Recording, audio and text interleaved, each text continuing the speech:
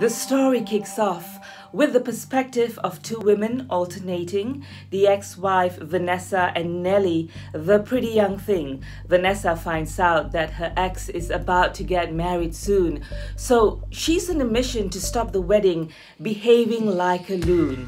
Now, once upon a time, her relationship seemed a dream come true, but now it's over. Or is it really as Vanessa pushes through, spying and scheming, trying to reach the new woman? Does she want him back that badly? That is the question. The Wife Between Us by Greer Hendricks and Sarah Pekkanen. Told in three parts, I found the first delicious with twists and turns. The other two might have been lacking grappling to keep up. The so called reveals were lackluster and not quite as expected. So here comes the verdict. I am giving it a 3.5 out of 5. I really did like the first part. I've now said my bit, so goodbye.